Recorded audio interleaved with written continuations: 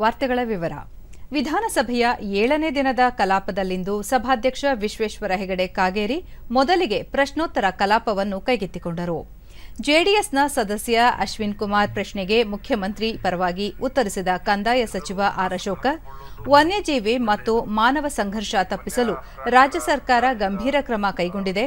ಕಾಡಾನೆ, ಚಿರತೆ, ಹುಲಿ ದಾಳಿಯಿಂದ ಮೃತಪಟ್ಟ ಸಂತ್ರಸ್ತರಿಗೆ ಪರಿಹಾರ ಮೊತ್ತವನ್ನು ಏಳೂವರೆ ಲಕ್ಷದಿಂದ ಹದಿನೈದು ಲಕ್ಷ ರೂಪಾಯಿಗೆ ಹೆಚ್ಚಿಸಲಾಗಿದೆ ಎಂದು ವಿಧಾನಸಭೆಗಿಂದು ತಿಳಿಸಿದರು.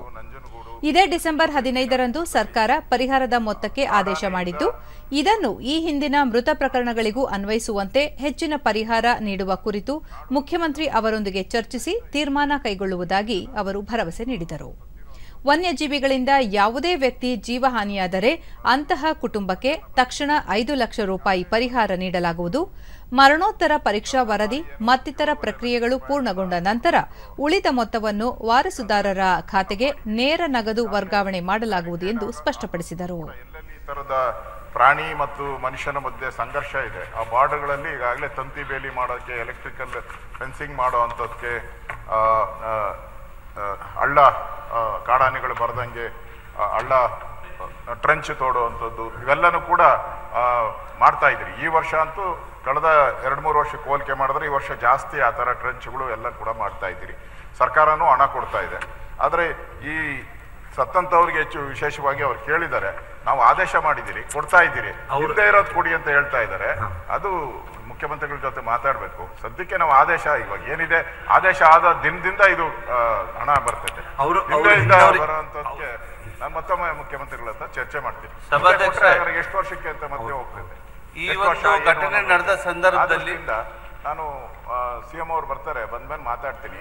ಈಗ ಹೆಚ್ಚುವರಿ ಬರೋದು ಮುಂದೆ ಯಾರ್ಯಾರಿಗೆ ಆಗ್ತದೋ ಆ ಹೆಚ್ಚುವರಿ ಕೊಡ್ತೀರಿ. ಇಮಿಡಿಯೇಟ್ ಆಗಿ ಐದು ಲಕ್ಷ ರೂಪಾಯಿ ಕೊಡ್ತೀರಿ ಪೋಸ್ಟ್ ಮಾರ್ಟಮ್ ರಿಪೋರ್ಟ್ ಎಲ್ಲ ಬಂದ ಮೇಲೆ ಉಳಿದಂತ ಹತ್ತು ಲಕ್ಷ ರೂಪಾಯಿ ಹಣವನ್ನ ಅವರ ಖಾತೆಗೆ ಜಮಾ ಮಾಡುವಂತ ಪ್ರಶ್ನೆಯೊಂದಕ್ಕೆ ಉತ್ತರಿಸಿದ ಲೋಕೋಪಯೋಗಿ ಸಚಿವ ಸಿಸಿ ಪಾಟೀಲ್ ಮನೆ ಮನೆಗೂ ಕೊಳವೆ ಮೂಲಕ ಶುದ್ಧ ಕುಡಿಯುವ ನೀರು ಪೂರೈಸುವ ಜಲ್ ಜೀವನ್ ಮಿಷನ್ ಯೋಜನೆ ಪ್ರಧಾನಿ ಅವರ ಮಹತ್ವಾಕಾಂಕ್ಷೆ ಯೋಜನೆಯಾಗಿದ್ದು, ಎರಡು ಸಾವಿರದ ಇಪ್ಪತ್ನಾಲ್ಕರ ವೇಳೆಗೆ ಮನೆ ಮನೆಗೂ ಕುಡಿಯುವ ನೀರು ಒದಗಿಸಲು ಉದ್ದೇಶಿಸಲಾಗಿದೆ.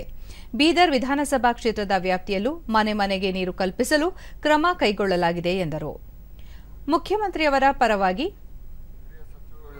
ಜಾರ್ಜ್ ಅವರು ಕೂಡ ಹಿರಿಯ ಸಚಿವರಾಗಿ ಕೆಲಸ ಮಾಡಿದಂಥವ್ರು. ಅವರ ಸರ್ವಜ್ಞ ನಗರ ವಿಧಾನಸಭಾ ಕ್ಷೇತ್ರ ಕೆಳಗಡೆ ಡೌನ್ ಸ್ಟ್ರೀಮ್ನಲ್ಲಿ ಇರೋದ್ರಿಂದ ನೀರು ಹರಿದು ಬರುವಂಥದ್ದು ಸ್ವಾಭಾವಿಕ.